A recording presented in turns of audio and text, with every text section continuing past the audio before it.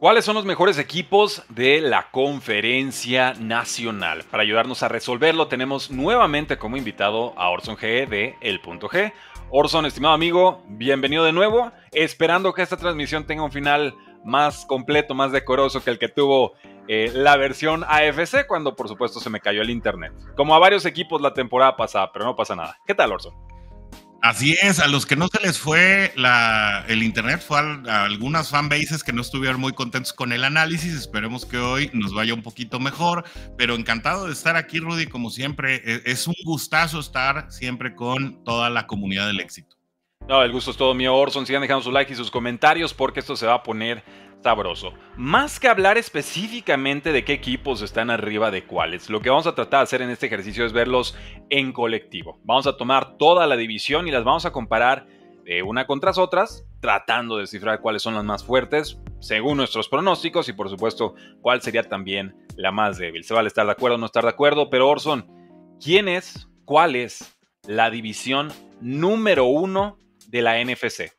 Y al preguntártelo, te pongo una segunda pregunta que sería: ¿Y tienes alguna duda de que sea el número uno? O sea, ¿dudaste en algún momento o estabas 100% convencido de que era el número uno?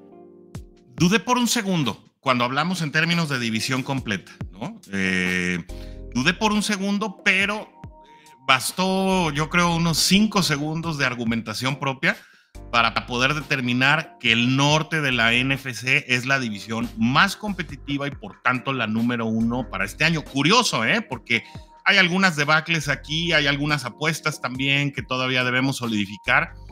Eh, sin embargo, para mí el argumento eh, precisamente de, cómo se desenvolvieron tanto los Leones de Detroit, ¿no? Que además hicieron historia después de décadas y décadas de rotundos fracasos y el proyecto de largo plazo que representa Green Bay, eh, este agarrón per se, para mí los pone por encima de las otras divisiones, de las cuales vamos a hablar en un segundo, ¿no?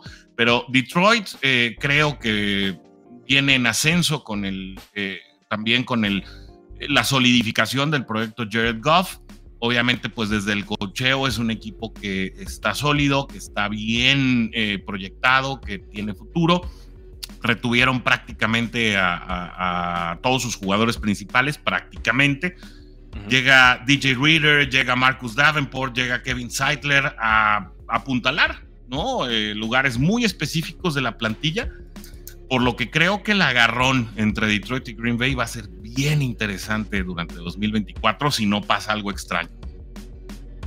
Sí, te compro el 1, te compro el 2. Tenemos la duda de lo que pueda hacer Chicago en esta, en esta temporada. Hay promesa, hay coreback, hay muy buenos receptores, dudas con línea ofensiva, eh, algunas dudas todavía con cocheo y, defensiva, pero en general se espera que sea un equipo de media tabla para arriba. Eh, Minnesota es el que tiene talento en ofensiva, algunos talentos puntuales, sobre todo en línea defensiva, pero todavía no lo veo cuestionado y tiene cambio de coreback, entonces eh, sí los veo claramente número 4. Eh, tengo dudas de que esta sea la mejor división, igual lo platicamos un poco más adelante. Te compro la idea de Detroit, el más fuerte de la conferencia, más allá de San Francisco, que lo superó en final de conferencia. Te compro la idea de unos Green Bay Packers que se consolidan al nivel que los vimos la temporada pasada. O quizás bajen un poquito si todo se complica, pero creo que más o menos se va a entonar con lo que vimos en la campaña anterior y Chicago que creo que se va a meter a postemporada con un calendario muy a modo. Entonces, cuando hablamos de un equipo o de una división que podría probablemente incluso tener tres equipos en postemporada, pues claramente estamos hablando de un top de top a nivel eh, NFL. Dicho eso, creo que por momentos, y por eso vacilo tanto y por eso te hice la pregunta, me quedo con el oeste. Me quedo con San Francisco, me quedo con los Rams, me quedo por momentos conocía a los Seahawks que ahorita serían ese equipo como número 3 que medio le pelea al nivel de Chicago, que sí que no. Creo que Chicago tendrá mejor temporada, pero he dicho muchas veces, Seattle para mí es la gran incógnita de esta temporada por tantos cambios que han tenido. Y Arizona, que no me fío de su defensa para nada, pero ciertamente en ataque ya mostraron maneras el año pasado y han mejorado con, con el grupo de, de, receptores. Entonces, ¿cómo los comparas o cuál para ti fue el criterio de desempate entre la NFC Norte y la NFC Oeste, que asumo es la segunda división. Tienes un punto. y asumes bien. Ahorita vamos para allá. Ah, Tienes un punto ahí y obviamente sí, sí fue parte un poquito de la toma de decisión. Chicago va a ser una apuesta, ¿no? La, verdad es que Chicago creo que por primera vez en muchos años va a tener la oportunidad de tener un 1-2 eh, notable. Obviamente, pues todo está a nivel proyección, porque bueno, lo, de Kelly Williams y Romo Downs, pues todavía falta verlos eh, en un plano profesional y falta ver cómo. Eh, yo, estoy así, yo estoy así. Exacto, exacto. Y falta ver también, pues obviamente cómo Matt Iberflus les puede sacar el mayor provecho a estos jugadores, ¿no? La apuesta de Minnesota por el otro lado, pues es eh, netamente a sus, a sus receptores y, y el deshacerse de Kirk Cousins, pues obviamente está implicando que Minnesota está apostando en otras latitudes, ¿no? Está apostando a otras temporadas. Así que bueno, de este modo, eh, creo que si, si, la apuesta de Chicago funciona, pero la apuesta de Seattle no. El, equipo, la plantilla de Seattle nadie duda que tiene mucho talento, pero el cambio de coach puede ser bastante determinante. Y bueno, una, una apuesta paralela, ¿no? Y ahorita vamos a entrar a esa división, si me permiten un segundo, pues es el tema de Arizona, ¿no? Sí, claro. Bueno, pues ahí lo tienen. ¿Qué opinan ustedes, damas y caballeros? Orson va a atender un pequeño eh, asunto, unos segundos, no pasa nada, creo que está todo resuelto. Eh, creo que Orson ve número uno entonces a la norte. Yo por momentos creo que la, que la oeste realmente sería la, más fuerte, la más completa. Lions y San Francisco, parejo. Packers contra los Rams, creo que es otro monstruoso duelo. Fueron los dos equipos que más fuertes cerraron, que se entonaron, digamos, hacia el final de temporada. Ahí sí creo que le doy el, voto de desempate a los... A, los... Pues, ¿qué, sería? Los Rams. Creo que se lo daría a los Rams por, por escuadra, por experiencia, por veteranía, porque todavía el, roster de los Packers parece eh, muy joven, muy talentoso, pero no consolidado del todo, sobre todo en defensa, donde creo que los, Rams han hecho mejor trabajo en esta offseason para, para mejorar sus líneas. Ese tercer nivel, Chicago, Seattle, creo que tendrá mejor temporada Chicago, pero visto lo visto, tendría que inclinarme un poco hacia, hacia Seattle, hacia Deacon Metcalf, hacia la experiencia de Gino Smith, pensar que puede haber un dolor de crecimiento con Kelly Williams y demás. Me quedo con coach, con lo que llegó el coordinador defensivo de los Ravens a, los Seahawks sobre lo que he visto de Matt Everflux en Chicago. Y ya 4 contra 4, me quedo con Arizona sobre Vikingos. No sé, está así como. Está muy, está muy gitano ese partido, no sé exactamente bien. Está, está bravo, pero bueno, están, están muy parejas las dos divisiones. Sí, y creo que el fiel de la balanza en el cuarto nivel, eh, como bien lo mencionas, es eh, Kyler Murray sobre quien quiera que esté tirando los balones en Minnesota, ¿no? Eh, creo que Justin Jefferson, a pesar de que fue la apuesta de la alta gerencia y lograron convencerse uno al otro, ¿no? De que la mejor apuesta era tener al receptor, pues creo que a final de cuentas le van a faltar muchos balones a Justin Jefferson. Va a ser una temporada que anticipo un poco frustrante para él en ese sentido, obviamente se va con, un, con una paca de dinero interesantísima, ¿no? Y yo creo que eso, bueno, se puede limpiar las lágrimas con, con billetes de 100 dólares sin ningún problema. Pobre. Eh, sí, sí, sí, definitivamente. Definitivamente. muchos targets, ¿eh? Pero no estoy pensando que va a caer el valor fantasy, digamos, de Justin Jefferson. Simplemente va a ser frustrante. Van a ser 150, 170 targets, pero no de Kirk Cousins, sino de un Korak novato o de Sam Darnold, ¿no? Entonces, pues ahí estamos avisados. Exacto. Eh, pero por el otro lado, eh, la verdad es que sí, si tú hablas del potencial que tiene Los Ángeles para poder pelear o contender, no creo que le gane el primer lugar a los 49. Sin embargo, va a estar contendiendo, va a estar peleando. Al final, la plantilla lo tiene, el estilo lo tiene, las piezas están, digamos, acomodadas en el lugar correcto. El off-season de Los Ángeles no fue espectacular, pero no fue malo. Y, bueno, San Francisco, obviamente, con con estas... Yo creo que una salida muy injusta en la coordinación defensiva, ¿no? Yo creo que el Super Bowl le cuesta demasiado a la coordinación defensiva. Obviamente, pues es el partido más importante del año.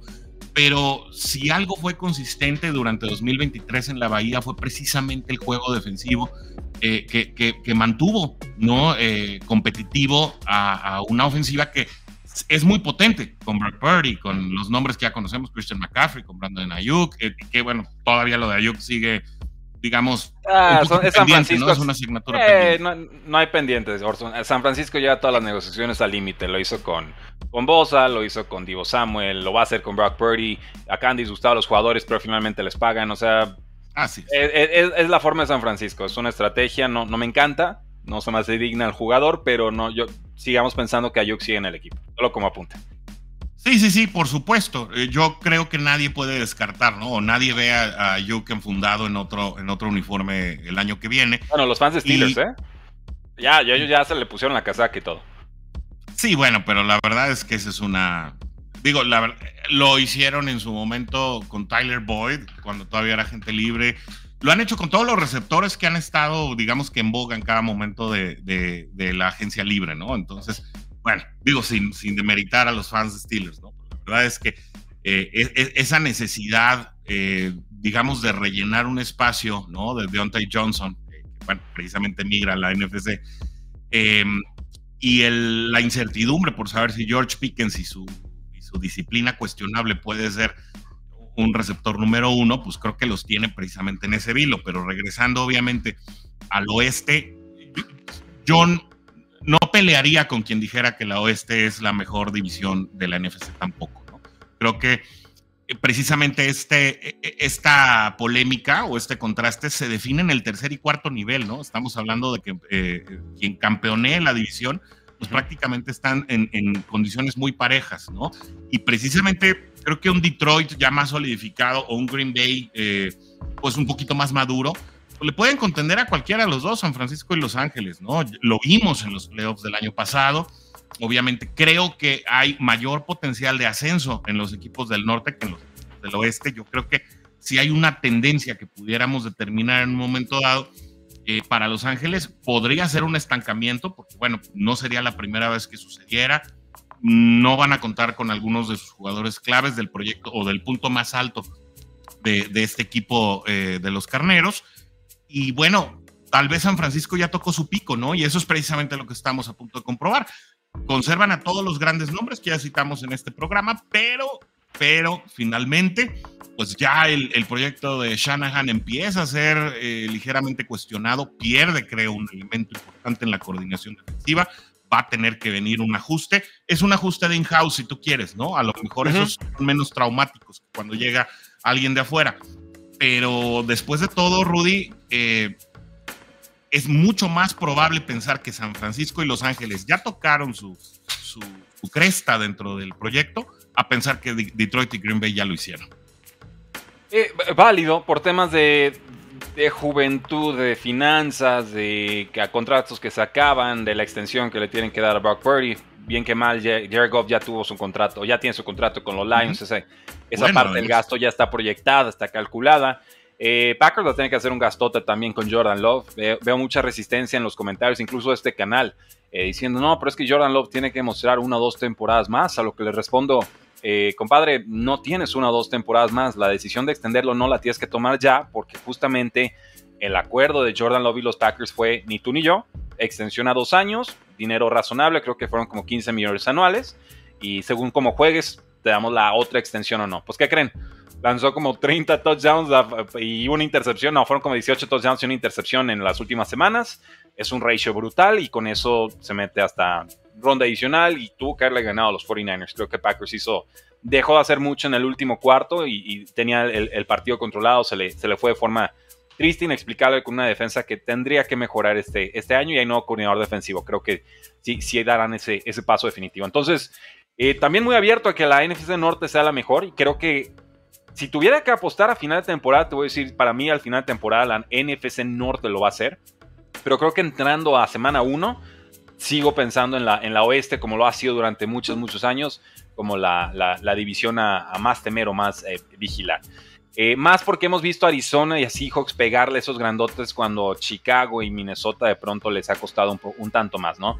Eh, juegos cerrados de, de, vikingos, pero ahora los perdían. Hace dos años esos juegos cerrados los ganaban.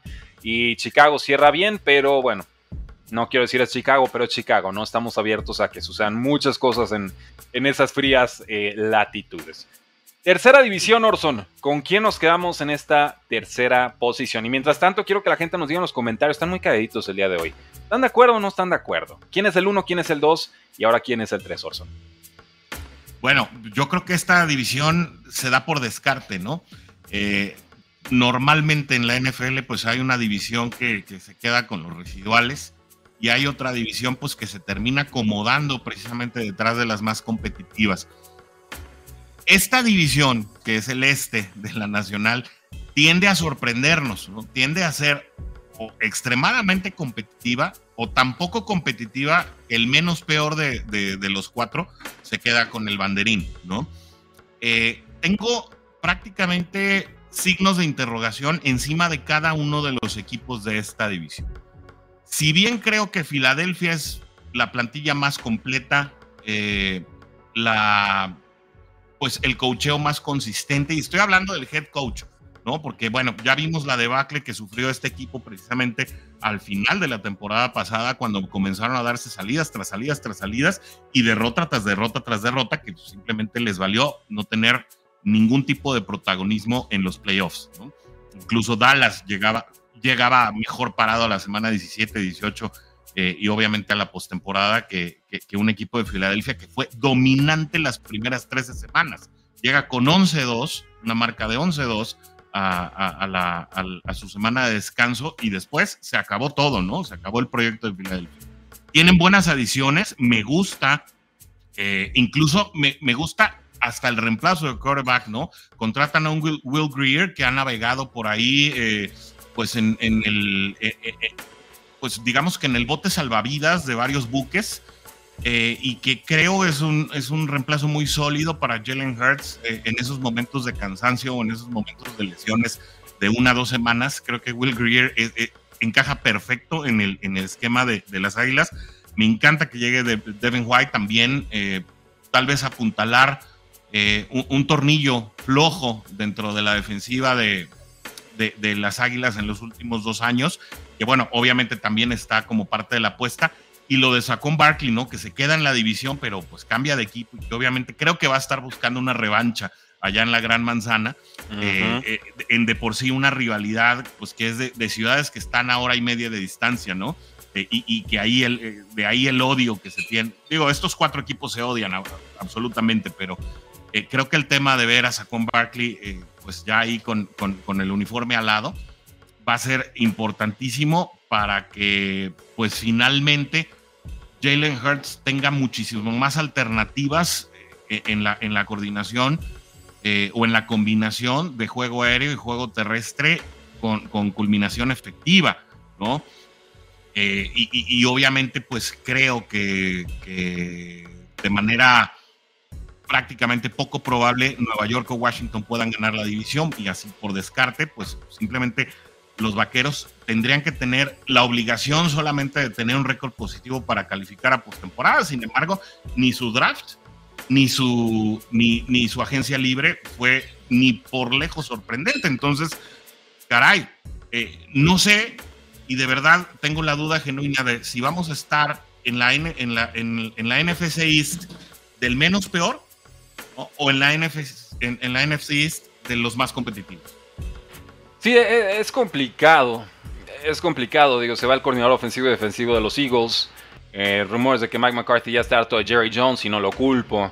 Eh, seguramente es mutuo, pero decidió mantenerlo un año más.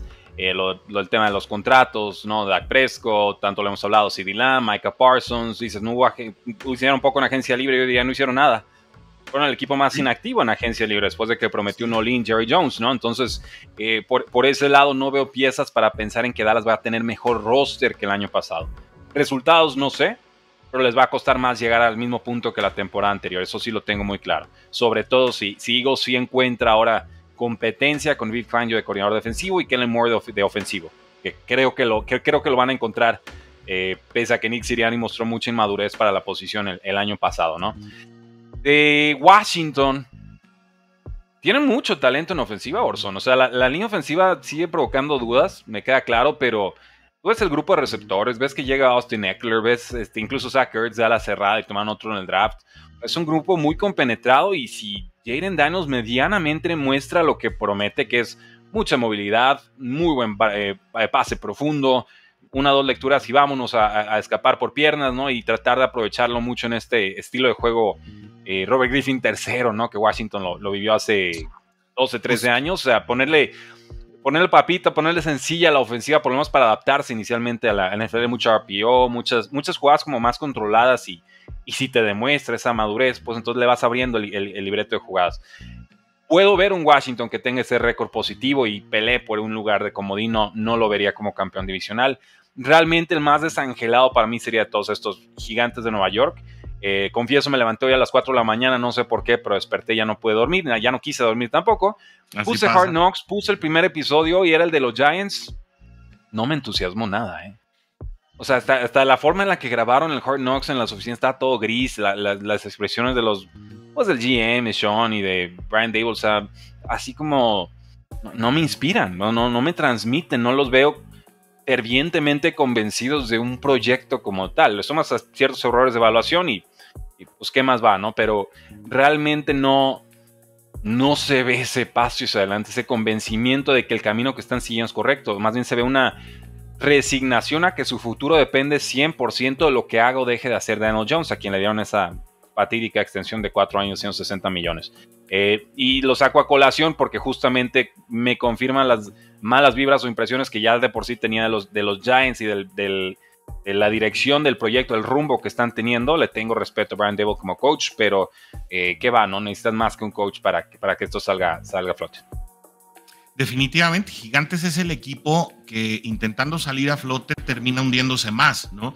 Eh, salidas de, de, piezas claves, o sea, con Barkley, lo acabamos de mencionar, Daniel Jones, que la verdad es que no ha terminado de justificar ni un solo centavo de ese contrato arriba de los, de los 35 millones de dólares, Digo, que ya está lejos de ser eh, uno de los contratos promedio anual eh, más escandalosos, ¿no? Pero sigue sin justificar esa cantidad de dinero.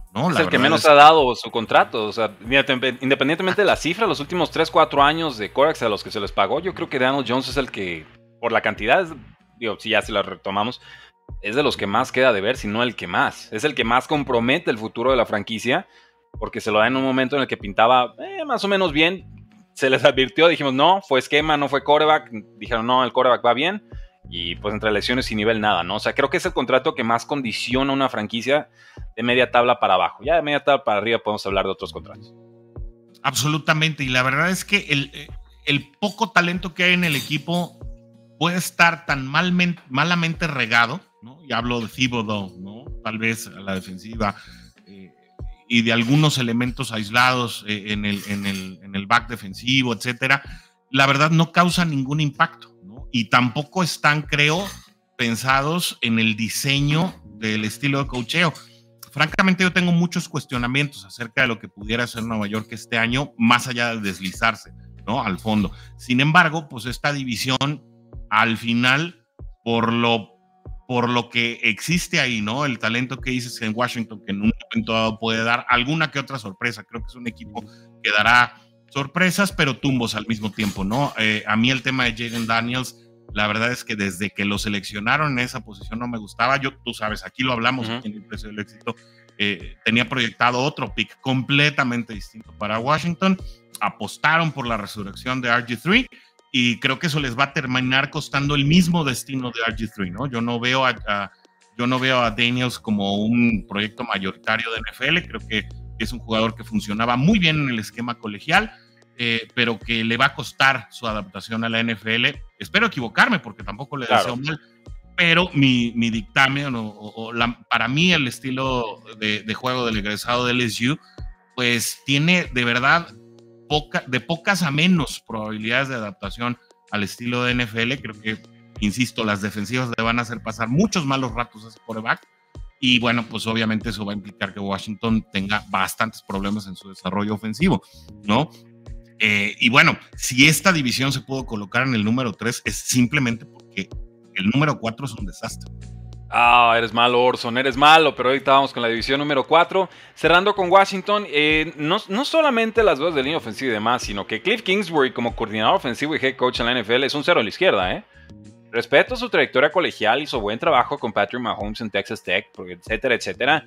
En Arizona prometió una superofensiva agresiva con cinco receptores, estirar el campo, iba a ser una locura y acabó con la ofensiva más vainilla de la historia, con dos alas cerradas, que no es que me caigan mal los Tyrants, pero no es lo que prometió y es... Oh, personal no es una maravilla para quien lo sabe ejecutar. Correcto, eh, simplemente, pero con él, con él fue un tema de default, no fue un tema de, preferencia o de decisión, ¿no? Nunca tuvieron realmente los receptores para ejecutar ese sistema, picks como Rondell Moore y demás, y en ese sentido llega ahora Washington como, ok, ¿qué aprendiste de esos otros momentos, no?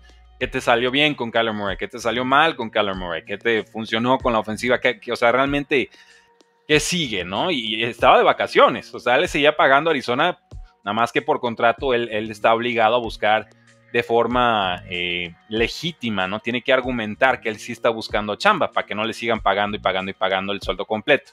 él tiene que demostrar que sí está ahí afuera eh, amparado buscando chamba, ¿no? Así como en, las calles. Y, la encontró y, ya está. Pero nada más lo, lo puntualizo y lo reitero, Cliff Kingsbury en la NFL no ha hecho nada. Ofensivamente, así como gurú ofensivo, más nombre que, un resultado. Es joven, abierto a la idea de que funcione, pero esta sería realmente la primera vez en la que funcionaría. Ya eso se está aferrando Washington, más un Dan Quinn que llega pues como premio de consolación del premio de consolación del premio de consolación, porque querían a, Ben Johnson, coordinador ofensivo de los Lions, y mientras venían en el avión les dijo, oigan, dense vuelta, no gracias. Eh, y despechados se fueron con Dan Quinn, que por algo nuevamente sale de, de los Cowboys, ¿no? Entonces, pues es mucho jugador así como que de pronto descartado. Mucho rechazado, ¿no? Austin Eckler sale de Chargers y, traen esta onda de. Pues si, lo, canalizan y son revanchistas, adelante. Pero también entiendo que pues por algo salieron de los otros equipos, ¿no? Y esa es la parte que me da pausa con ellos. Sí, y bueno, pues también para, para Eckler el tema de la edad, pues obviamente no, pasa desapercibido. Eh, creo que le queda gas, creo que le queda gas. Creo que estuvo sí, absolutamente. Absolutamente. Y bueno, especialmente en la posición, ¿no? La posición, creo que de más desgaste a todo nivel, ¿eh? No estoy hablando solamente físico.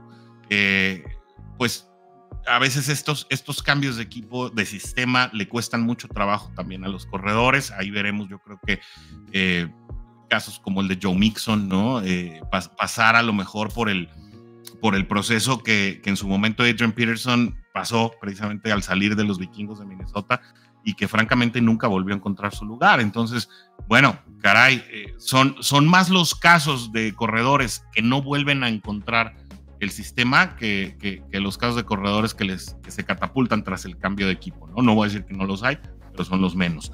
Entonces, bueno, sí, eh, un equipo de huesario, como, como, como bien lo acabas de decir, recogiendo prácticamente de todos lados pero incluso eso, pues es mejor que la inacción que se vio en Dallas, ¿no? Solamente que Dallas tenía un poco más de talento alrededor, es decir, adquirido en otras temporadas, pero creo que a Dallas le va a costar la salida de Tony Pollard, porque si hubo un elemento consistente cuando estuvo sano, precisamente en el, en el ataque y que le trajo momentos de respiro a Dak Prescott, pues fue precisamente la intervención de Tony Pollard, ¿no? Especialmente después de la salida de Ezekiel Elliott, ¿no? Sí, se va a Polar, se va a la línea ofensiva. Eh, dudas, dudas, dudas. Realmente es, eso, ¿no? no se sienten buenas vibras, no transmiten buenas vibras en estos momentos los Cowboys, ojalá me equivoque, pero ciertamente se ven en un, momento de, incertidumbre y de inflexión. ¿En qué dirección? No lo sabemos, pero sí, sí parece estarse acabando una época en, Dallas, ¿no? Y no hablo solamente del, del entrenador en jefe, Jerry Jones tendrá que confirmar o desmentir. Los resultados en el campo darán o quitarán razones, pero ciertamente eh, veo debilitado Dallas versus el año pasado.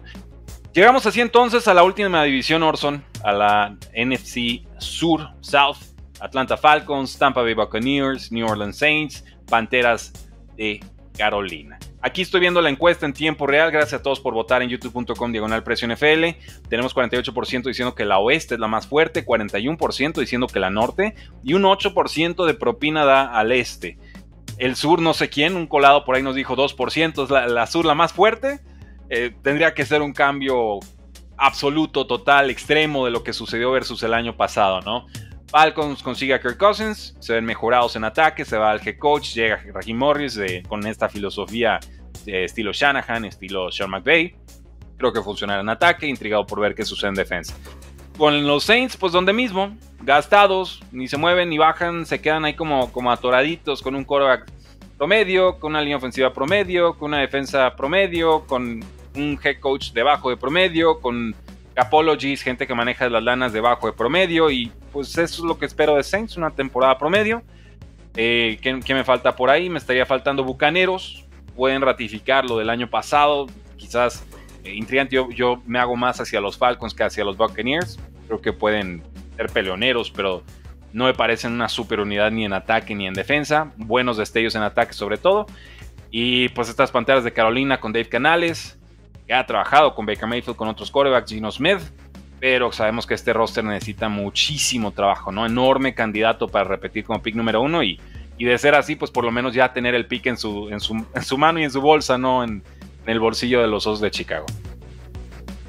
En, en particular esta división, eh, obviamente siendo la, pues, en el papel la más débil de todas, creo que tiene un elemento muy interesante que es el trabajo que ha hecho casi por goteo, ¿no? Es un riego por goteo lo que ha hecho Atlanta en los últimos años.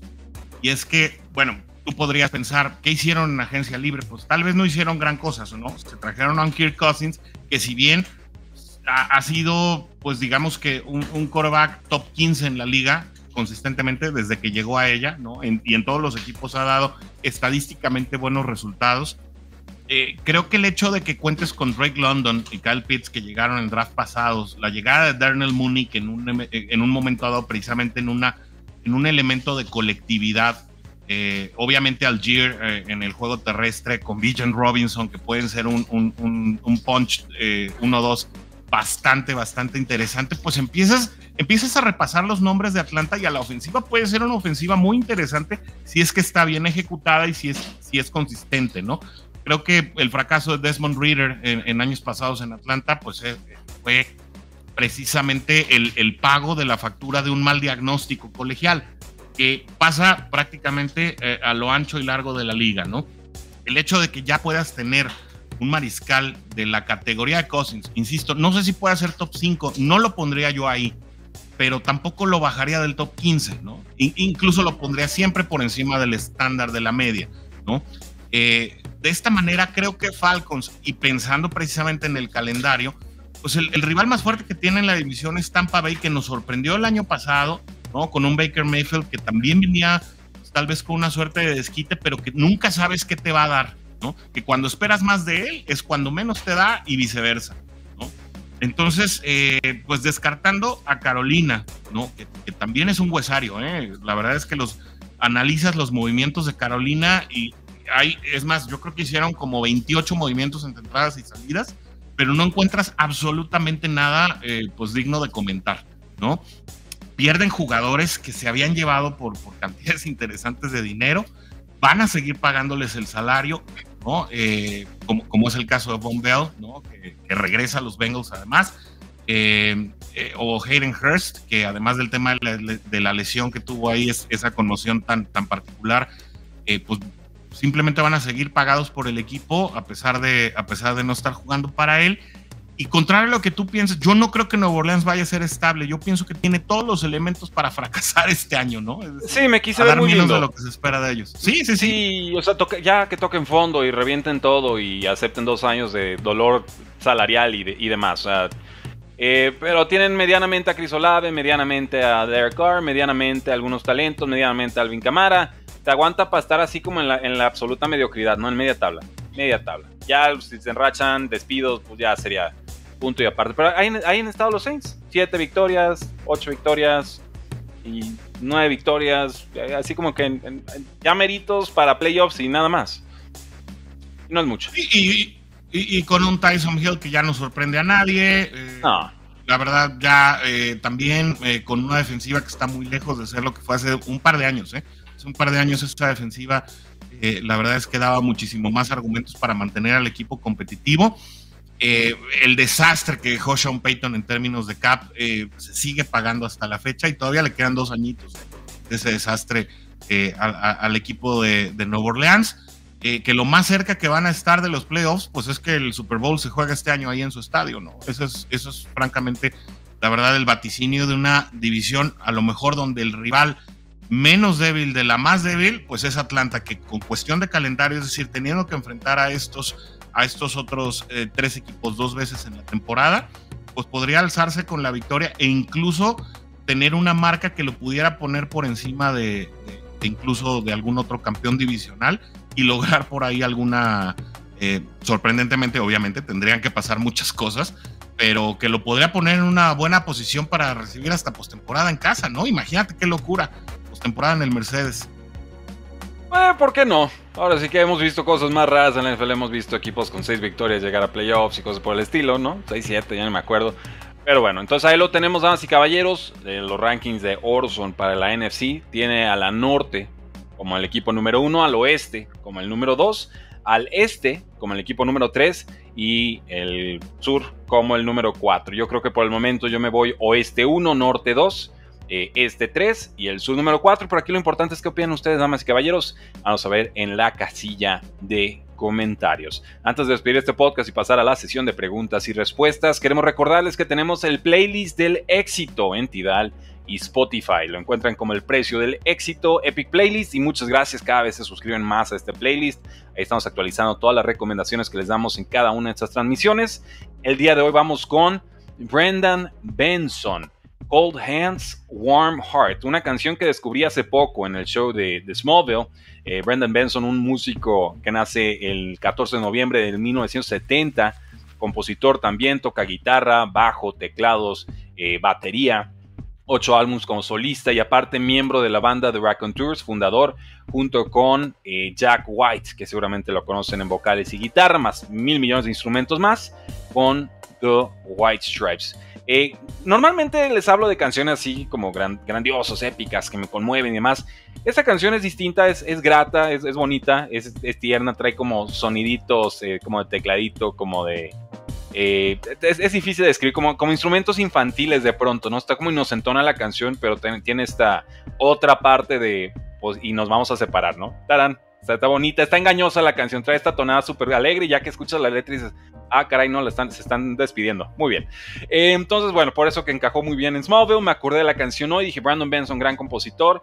Eh, Steady As She Goes, por supuesto, la canción más popular de los Raccoon Tours, la que hace que se conviertan eventualmente en esa banda. Eh, dense la vuelta, yo creo que la van a disfrutar muchísimo. Una canción sencilla, rapidita, muy digerible. Brandon Benson, Hold Hands, Warm Heart, manos frías, corazón caliente o calientito. Y con eso, Orson, te pregunto cuáles son tus redes sociales para todo el público. Muy bien, pues en Twitter X, yo siempre le voy a seguir diciendo Twitter, ¿no? Ahí Twitter. pueden encontrar. Sí, exacto. Así como se escucha, arroba Orson o RSON guion bajo G. Ahí estamos hablando de NFL y algunas otras cositas que de repente nos deschavetamos, ¿no? Pero prioritariamente de NFL. Y bueno, eh, eh, mi proyecto principal se llama el punto G NFL, ese lo pueden encontrar en todas las plataformas de audio, Spotify, Podcast, etcétera, y en el canal de YouTube, que estamos a punto de lanzar la temporada 2. Eh, así que bueno, pues encantados de recibirlos ahí también para opinar de NFL, porque ahí lo que hacemos es opinar, no informar. Así que todas las opiniones ahí en el punto NFL son muy bien recibidas. Y estaremos buenísimo, buenísimo. Ahí está, aquí informamos y ya de pronto opinamos según lo que, lo que quiero pida la gente. Ahorita ya vi algunos comentarios, nos vamos a agarrar un round bien sabroso. Pero a mí me encuentran en todos lados, en todas las plataformas X, Twitter y las demás como arroba precio NFL. Si quieren quedarse para la sesión de preguntas y respuestas, hablar un poco sobre lo que será esta semifinal de España contra Francia, de Canadá contra Argentina, pues ya lo saben, youtube.com diagonal donde tenemos la segunda parte, eh, exclusivamente para los que nos están viendo en vivo. Porque la NFL no termina y nosotros tampoco. Hasta la próxima.